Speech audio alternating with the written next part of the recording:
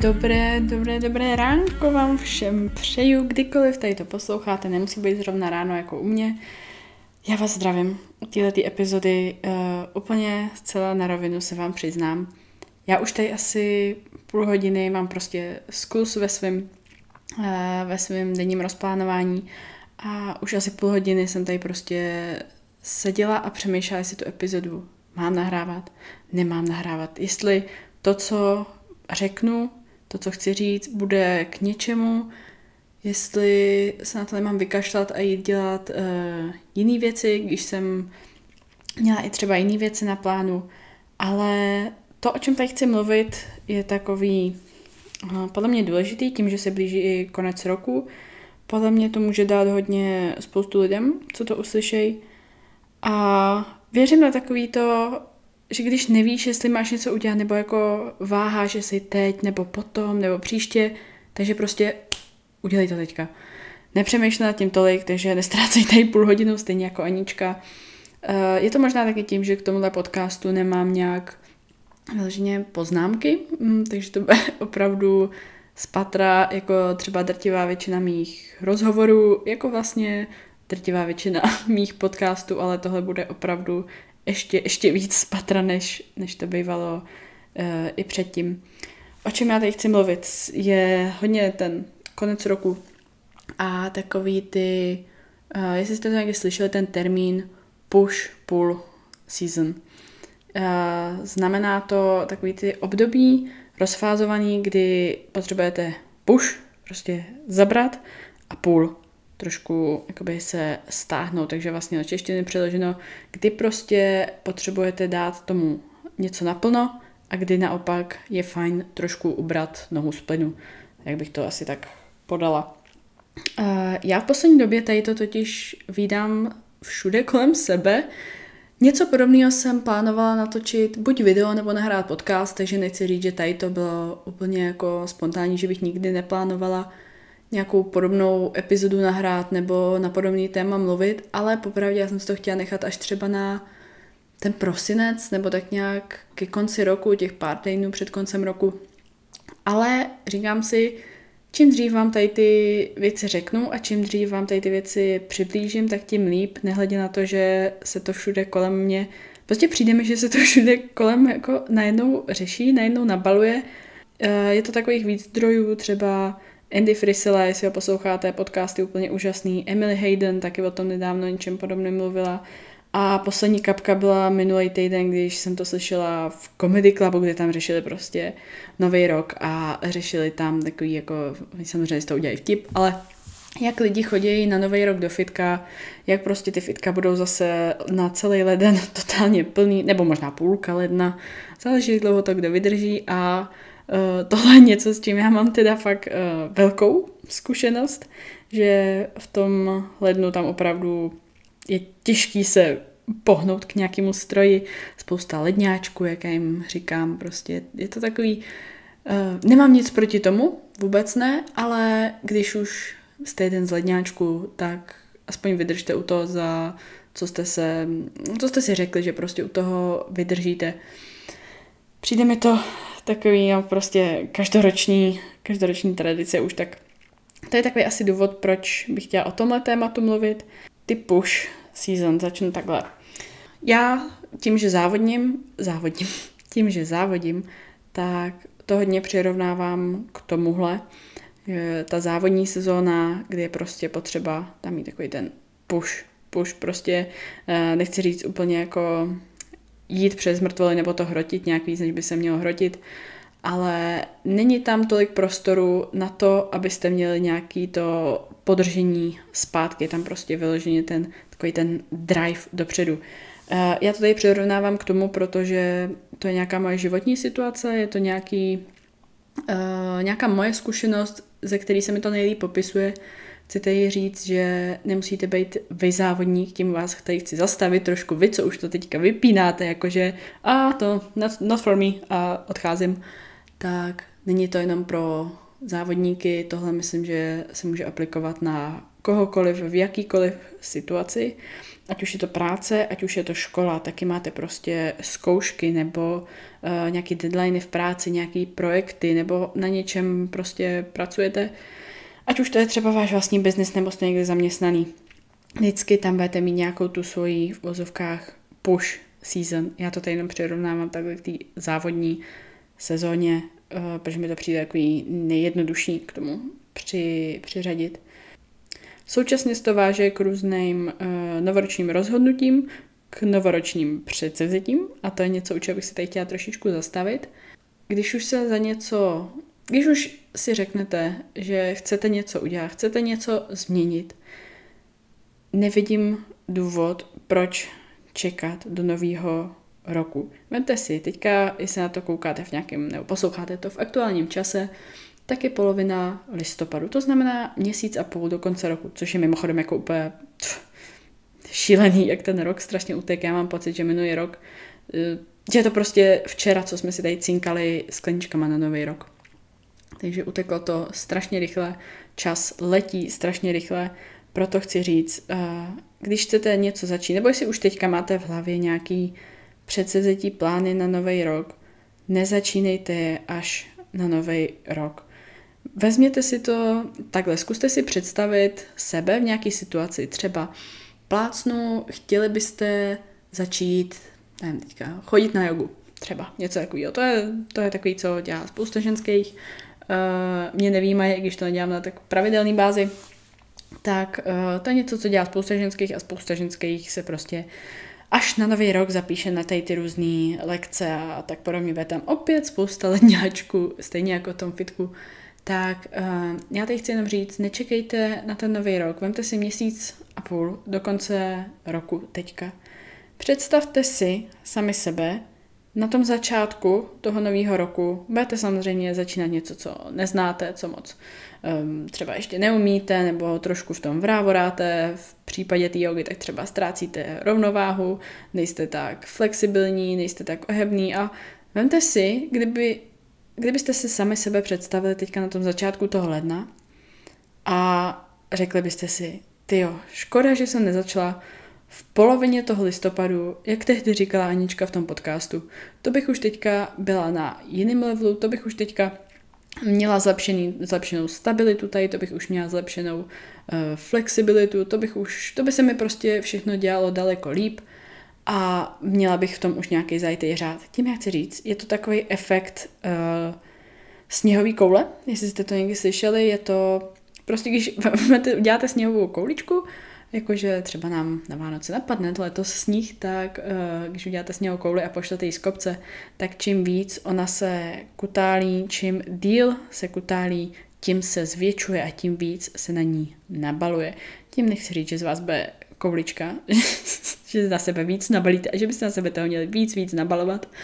Um, tím chci říct, že je to takový přenesený význam toho, že čím dřív začnete, tím víc budete v tom zdatnější, zkušenější, potom mezi těma všema ostatníma ledňáčkama. Takže moje možná taková popíchnutí pro vás, jestli nad něčím přemýšlíte, udělejte to rovnou, začněte s tím prostě hned.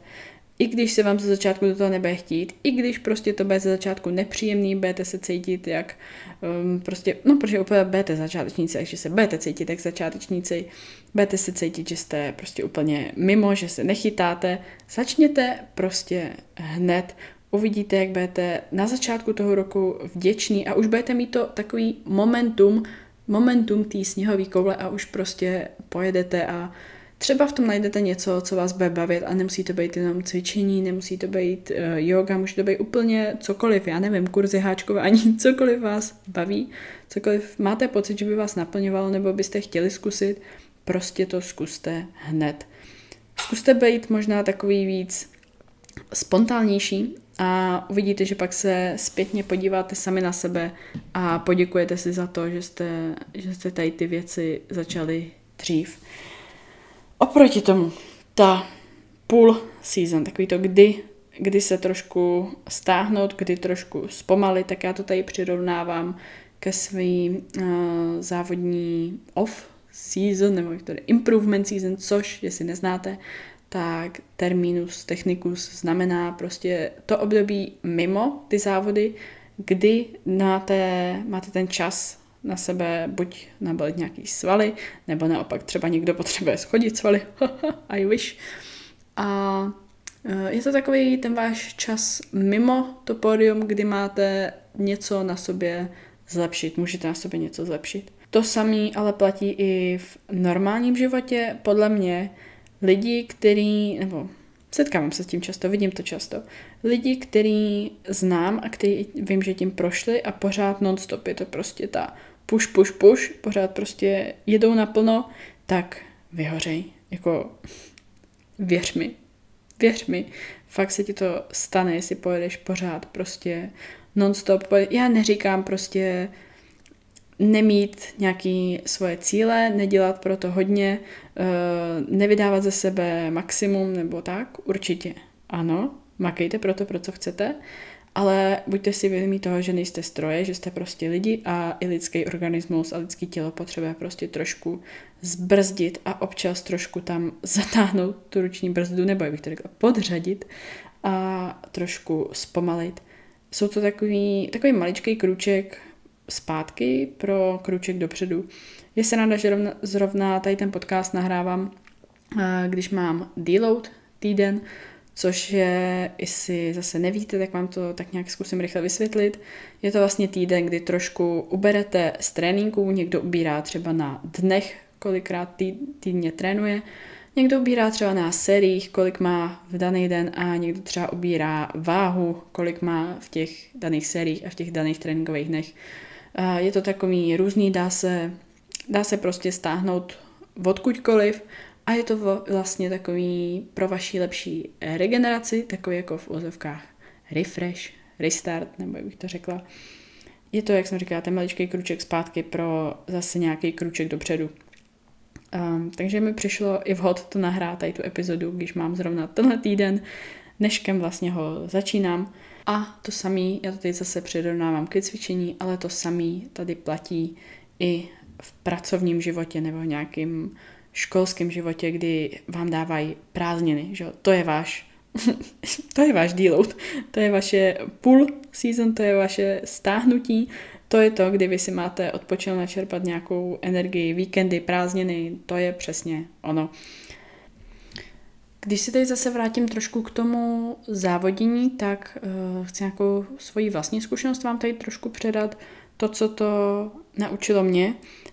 Uh, já si popravdě nemyslím, že závody jsou pro každýho, že by měl závodit každý. Určitě, ať si to klidně, ať si to klidně, hele, ať si to klidně zkusí. Každý, kdo má pocit, že by to třeba mohlo být pro něj a pak, když třeba se z toho podiáku zná, rozhodí ruce a říká, mm, not for me a bude dělat klidně něco jiného, nebo si bude cvičit prostě jen tak, protože ho to baví, nemyslím si, že já to nic špatného, myslím si, že je to super, pokud uh, někdo cvičí jen tak bez závodění, s tím ale, že většina závodníků by měla cvičit podle mě jako celý rok pořád, uh, protože pokud dělají tady ten sport, pokud závodí, tak hádám, že by je to mělo bavit. Nechci tady moc slovíčkařit, abych se to nezamotala, doufám, že vy chápete, co tím já myslím. Stejně tak, ale jako třeba každý nemůže být cyklista, profesionální, nebo stejně tak jako každý nemůže být plavec, nebo já nevím, kosmonaut, nebo co by, mě, co by mě ještě napadlo, tak stejně tak si myslím, že ne každý musí zákonitě závodit a ne každý, kdo cvičí, musí zákonitě závodit. Pokud ale najdete něco, co vás opravdu baví, co máte pocit, že vás opravdu naplňuje, tak to prostě dotáhněte do konce. Já bych tady ráda přečetla jeden takový úryvek z jedné knížky, kterou omlouvám se, mám to jenom screenshotnutý v mobilu, takže nemám tu knížku fyzicky u sebe, nejsem si úplně jistá, co za knížku to bylo. Jsou to ale takový ty, uh, jako máte různě ty denní články, že tam vždycky takový krátký článeček na každý den v roce. A tohle bylo nedělej nic polovičatě, jinak budeš víc ztrácet, než získávat. Dokončili jste to, co jste začali, nebo jste byli napřed plně nadšení a v polovině jste couvli, splaskli jako bublina? Někdy opravdu není jednoduché dopracovat se ke zdárnému konci. Někdy je snadnější vzdát práci s umluvou, že tomu nerozumím a nebaví mě to, nemám čas. To jsou však jen výmluvy. Počítejte s tím, že to, co začnete, bude vyžadovat čas a energii. Pak je tam vždycky na závěr jako, podnět pro dnešek, dokončím to, co jsem začal. Chtěla jsem vám to tady přečíst, protože si myslím, že to je celkem, celkem podobný s tady tou push pull season. Pokud se najdete v něčem, co vás opravdu baví, tak prostě to dokončete. Pokud začnete nějakou školu, projekt nebo něco, co uznáte, že pro vás by bylo dobrý, že by vás bavilo, ale třeba ze začátku to nejde, jak jsem říkala, i třeba ty lekce, nebo začnete chodit do fitka, je to takový ze začátku, všichni jsme to měli ze začátku těžký. Nikdo učený z nebe nespat, eh, všichni jsme nějak začínali, všichni jsme byli začátečníci, všichni jsme se v průběhu toho učili, ale důvod, proč se třeba i úspěšní lidi dostali tam, kam se dostali, je proto, že se za celou tu dobu nevzdali a neustále se zlepšovali v tom, co dělali a co je bavilo neustále se o tom vzdělávali nebo kontaktovali nebo si dali do nějaké spolupráce s osobama, který je mohli posunout a vzdělat dál. Tady se dostáváme k nějakému trénování, k trenérům, když to vemu zpátky na to fitness. Co tady, ta, tady ty sezóny, kdy, kdy zabrat a kdy se stáhnout zpátky, co to naučilo mě v porovnání s závodní přípravou a s normálním životem, bylo to, že v závodní přípravě musíte být opravdu, jak to řekla, jako striktní, nebo opravdu musíte dodržovat ten svůj plán, protože máte určitý deadline, určitý datum té soutěže, do kdy musíte být opravdu připravený.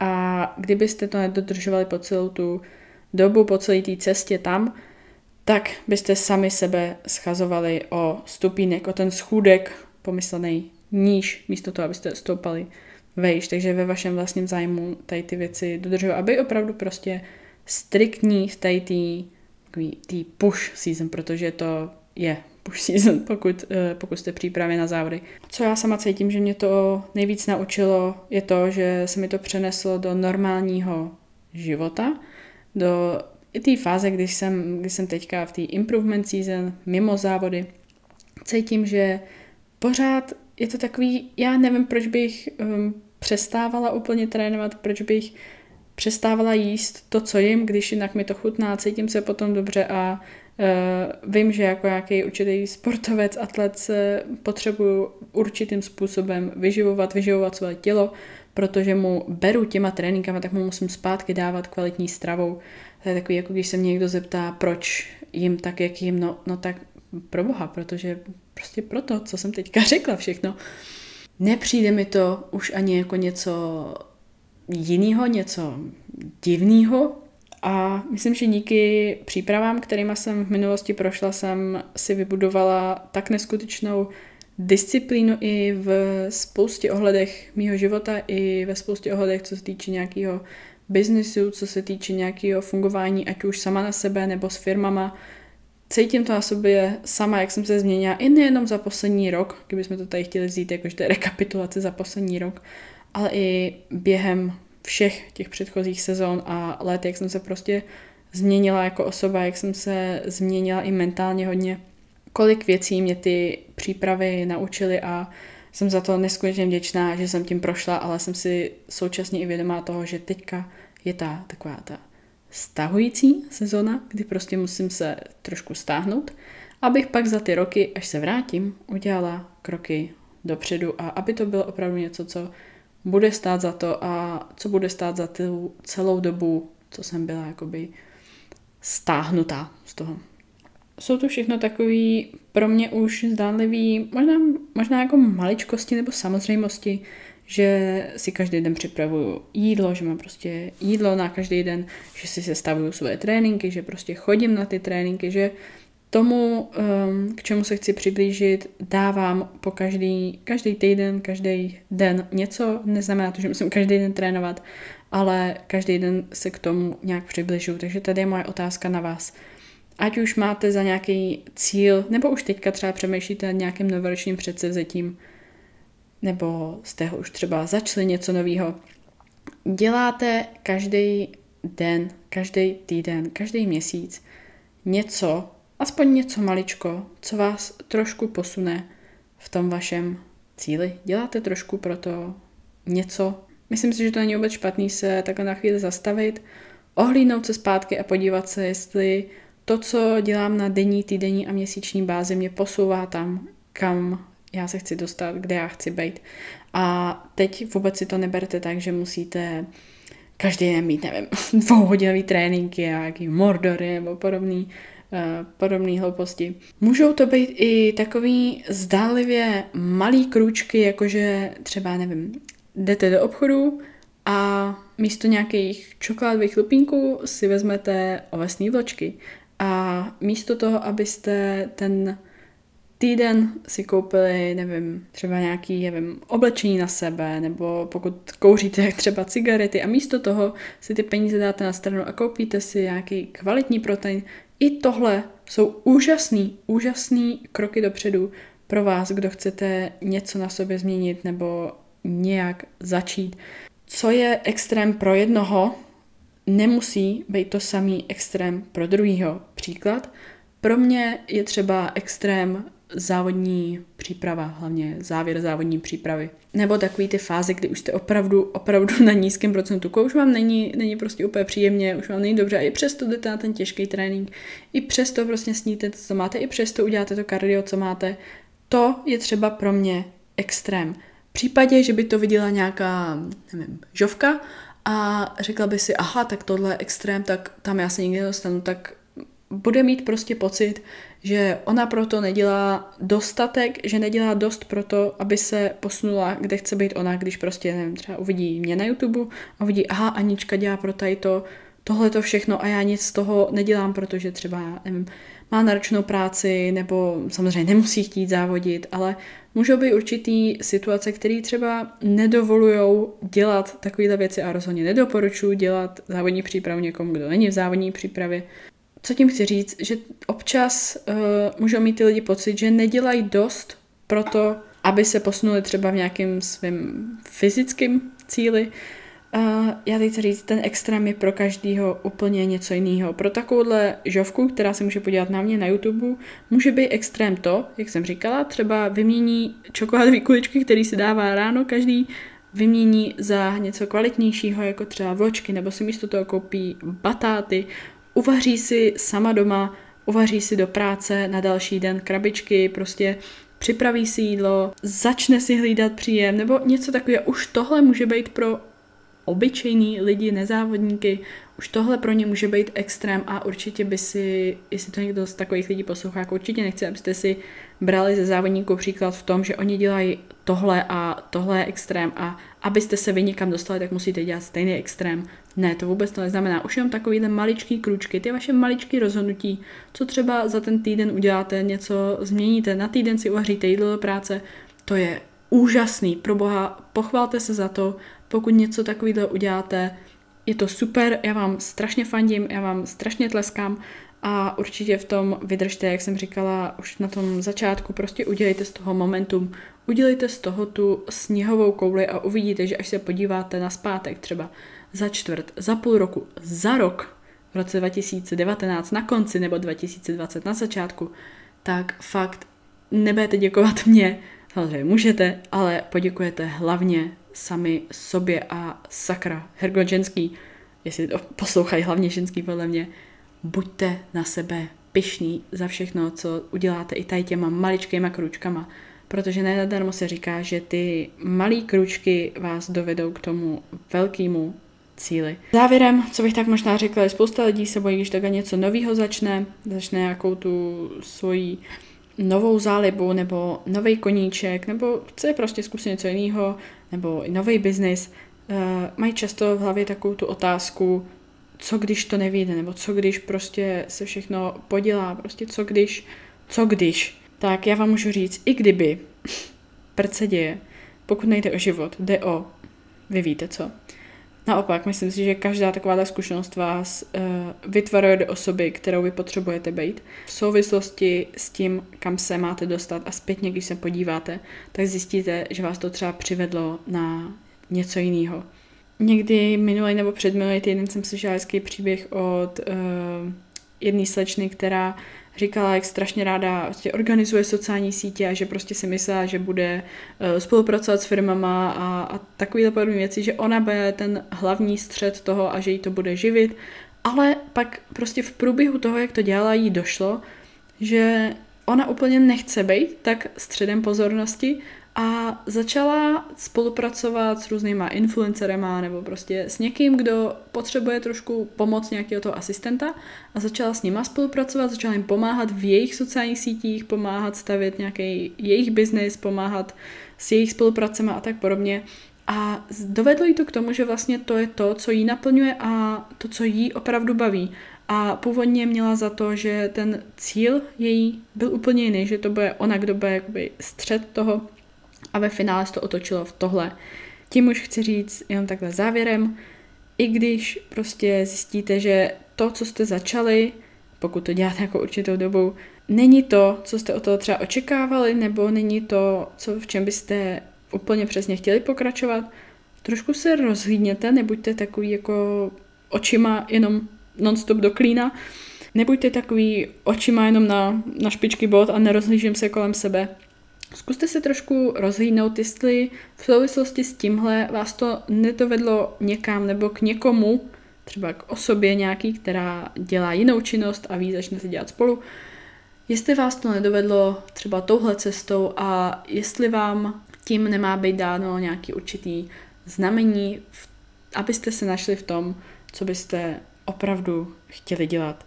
Já se omlouvám, jestli tady ten podcast byl takový moc rozházený všude sem a tam, jestli to moc nedávalo smysl, budu doufat, že to, že to vystihlo to, co jsem vám tím chtěla říct. Pokud budete chtít něco začít, nečekejte na nový rok, nečekujte na, nečekejte na pondělky, um, čím dřív to začnete, tím líp a tím dřív třeba dojdete k tomu, co vás opravdu baví, i když to třeba není to, co jste si ze začátku mysleli. Tak já vám už tady poděkuji moc za sledování, vlastně za poslouchání, omlouvám se, YouTube Live. Ani netušíte, jak strašně moc si vážím vašeho času, protože čas je to nejcennější, co máme, čas je to nejcennější, co vy mě můžete dát a tím, že jste tady se mnou strávili nějakou tu asi tak necelou půl hodinku, to bude mít podle mě, tak eh, toho já si strašně moc vážím, jste tady poslouchali mě až do konce. Pokud mě ještě nesledujete na Instagramu, je to mé zavináč Anna Faltová, dohromady. Já už vám tady poděkuju za všechnu vaši podporu. Jestli koukáte na YouTube, dejte mi vědět, co říkáte na tady tu novou ikonku, nebo jak bych to řekla, tady ten nový thumbnail toho, co jsem udělala. Přijde mi to takový elegantnější, přijde mi to takový jednodušší, než uh, s tím dřevem okolo a tak. Zase je to něco, co bych mohla nechat na nový rok, jakože změním ikonku na YouTube pro podcasty, ale Rozhodla jsem se ne, chci to začít už teďka rovnou, protože se mi to líbí víc, přijde mi to elegantnější a prostě proč ne teď, proč ne. Určitě se můžete těšit na další videa tenhle týden, pokud jste na YouTube, jsem tam normálně jako Anna Faltová, jestli posloucháte z iTunes nebo přes Spotify, tak či tak vám moc děkuji za váš čas, neskutečně si to vážím, mám vás strašně, strašně moc ráda. A budu se těšit u další epizody zase našich Cookies for deadlifts. Mějte se krásně. Pa!